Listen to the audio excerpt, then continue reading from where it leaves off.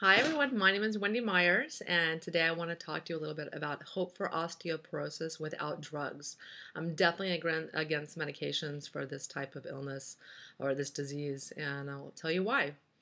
Um, first, osteoporosis it affects 44 million Americans, and if you plan to live to 110, you have a, over a 30% chance of developing osteoporosis. So definitely pay attention. Um, osteoporosis, it's uh, definitely can cause death, uh, not only pain and disability, but death as well. 25% uh, of people that um, that end up breaking their hip die within the first year. This is people over 50 years old, of course. So it's very, very serious when someone breaks a hip uh, due to osteoporosis. Um, it can also cause, uh, you know, severe depression after the surgery. They can get, uh, they could lay in bed for weeks of recovering. Um, they can lose their ability to care for themselves. Um, patients can also um, uh, develop after the surgery or because of the break develop a blood clot that goes to their their brain or their heart and cause a heart attack or a stroke. It's very very serious, and but it absolutely can be prevented. Um, so I'm going to talk to you about some of the symptoms of osteoporosis.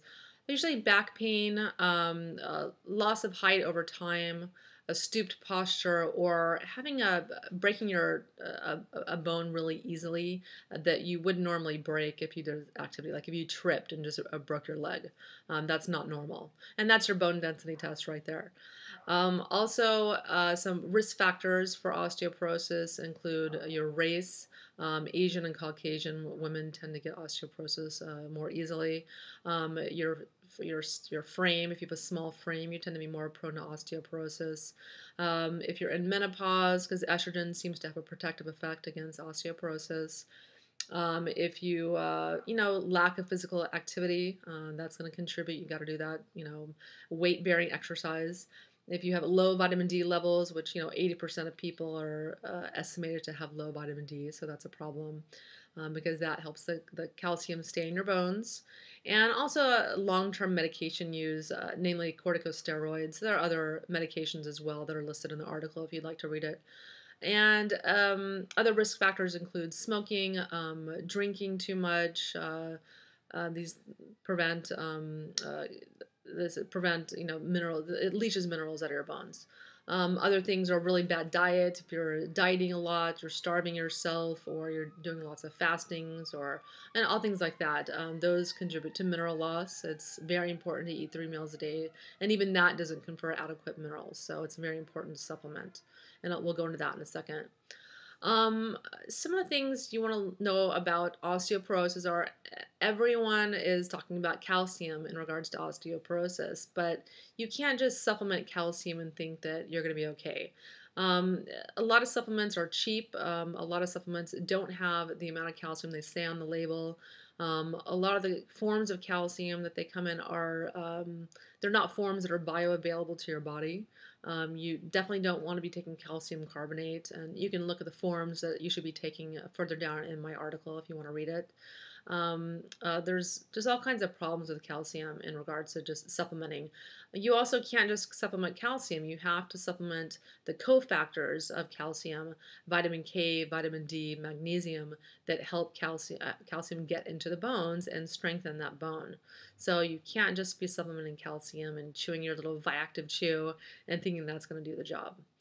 Um, you also don't want to think that if you eat dairy, conventional dairy that you're that's going to be conferring protection against osteoporosis for you also.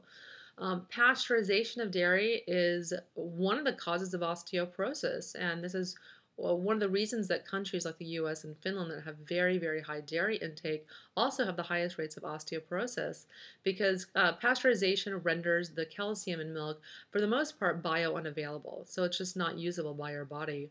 And pasteurization also damages the milk in many other ways, like deforming the fats and the proteins that makes it very unhealthy for you. So if you're going to drink dairy, drink raw milk. And you can find more information about that on realmilk.com. There's nothing to be worried about. I've been drinking raw milk for a while, raw cheeses, uh, raw milk kefir, and it's fantastic. It tastes so good. It's wonderful full fat dairy. You need the fats to absorb the calcium, so you can't drink fat free milk and think that you're going to get calcium benefits simply because it contains calcium. You must eat healthy fats especially 50% saturated fats, to absorb calcium and other minerals that are going to confer healthy bones. Um, another problem with taking calcium is it does make the bones really hard, but bones also need to be flexible not to break. And this is wonderfully illustrated in a lecture I heard from Annemarie Colbin. She has a book called The Whole Foods Guide to uh, Healthy Strong Bones, something like that, not the exact title. And she talks about how uh, bones are 65% calcium, but they're also phosphorus, but they also have a collagen matrix. Um, this collagen matrix, uh, it's 65% minerals and 35% collagen matrix. And this collagen matrix is what keeps the, uh, the bone flexible. So if you're on a vegan diet or you're not eating animal protein, guess what? You're not going to get the collagen and the gelatin that forms this collagen matrix, and you're going to be more uh, prone to bone breakages. Um, and also, you that's why you can't just eat uh, tons and tons of calcium, lots of minerals. They make your bones really, really hard. And that can also make them prone to breaking. So you need to have um, a balance of the two. You need to have calcium and, and collagen in your diet.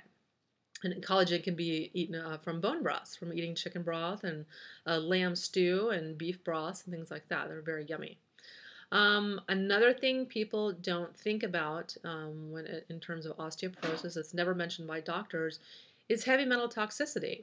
Um, many times bones are, are they're a storage site, so the body stores lead, aluminum, and cadmium and um, other metals in the bone, and this this can cause them to look actually denser on bone scans when they're actually very brittle and weak. Um, so you definitely need to think about detoxification of these heavy metals. And the program that I'm doing and I'm also training in right now is called Nutritional Balancing with Hair Mineral Analysis. And it's an amazing program that takes several years, but you know, you spend a lifetime accumulating these you know, toxins and heavy metals. It's going to take time to get them out. But it's an amazing program fully mineralizes your body and detoxes these heavy metals at the same time. It's a, a, a holistic program and it will cure your osteoporosis for the most part. Uh, not everyone. There's some people that are just too far gone, and um, unfortunately, um, something not everything's going to work for them. Um, uh, some of the conventional treatments for osteoporosis uh, that you see on TV for commercials is uh, biphosphonates. These are things like Fosamax and Boniva and Actonel. Um, these I do not recommend. Um, oddly, they have the, the side effect of them if in long-term use, um, after they're used for a couple years, is they cause bone breaks, um, and they ca- they can cause your bones to crack, which I find strange because the medication is used to prevent that. Um, so I don't recommend using them. A lot of doctors try to you know solve this problem by having the patient go on a medication holiday um, and then starting it up at a, a, another time at a later date. Um, but I just I just don't think these are the solution. Um, I think they cause the problem which they were meant to um, uh, which, which they were meant to you know prevent. And you can read more about that down farther in the article. Um, another problem with the biphosphonates is they can cause a really scary condition called osteonecrosis, which is death of your jawbone. And a lot of dentists won't work on patients while they're on biphosphonates because if they extract a tooth or do a major surgery, um, it can result in death of your jaw. And uh, so don't think this is an extremely rare condition. It's not. And a lot of women are finding themselves they're trying to treat uh, trying to treat their osteoporosis um, end up having their jaws die um, or uh, or start to disintegrate. And just not worth it. Just you know, eat your bone broth and sardines and some of the other healthy foods that I'm going to mention. And you have you have to live a healthy lifestyle. You can't smoke and drink and have a bad diet and take biphosphonates. It's not going to work. It's not going to turn out for you like you'd hoped.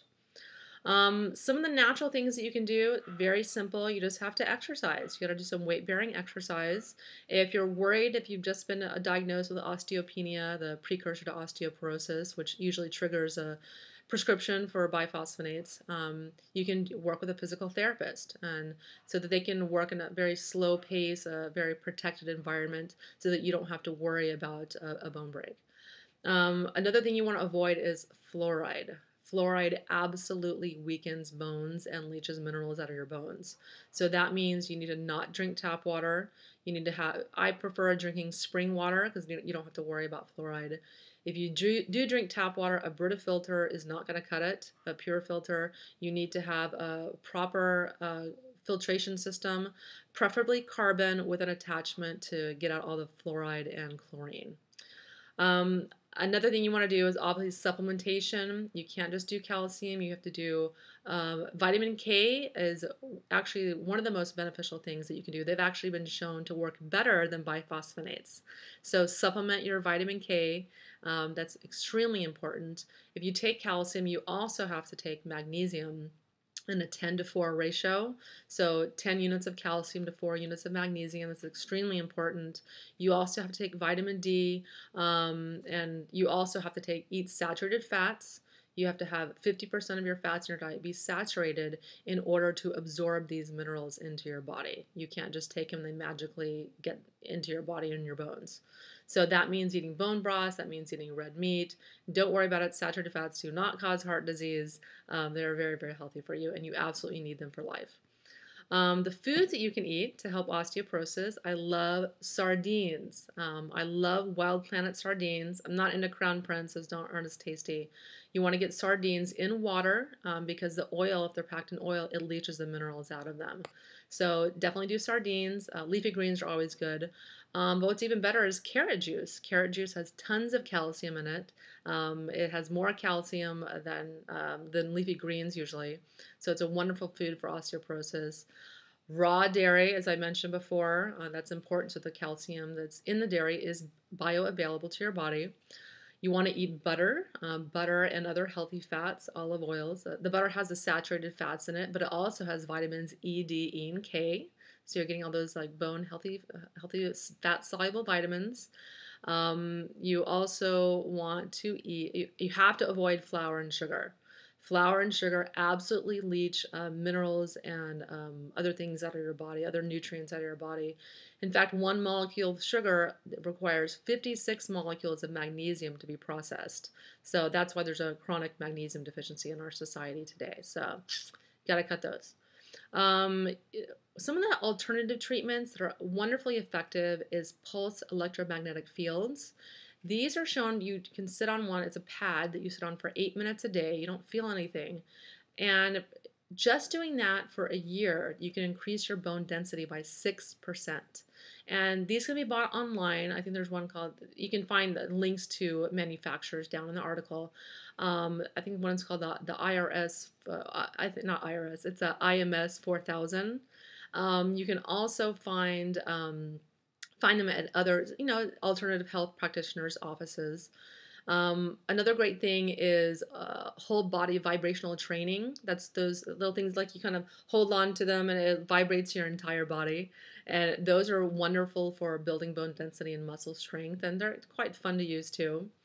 Um, another thing that's very, very uh, effective is weighted vests. Uh, wearing, you know, to start out with six to eight pounds, you can buy them on the internet. And a weighted vest is going to, you know, help increase your bone density because it's a weight-bearing exercise, so to speak, if you're wearing one all day.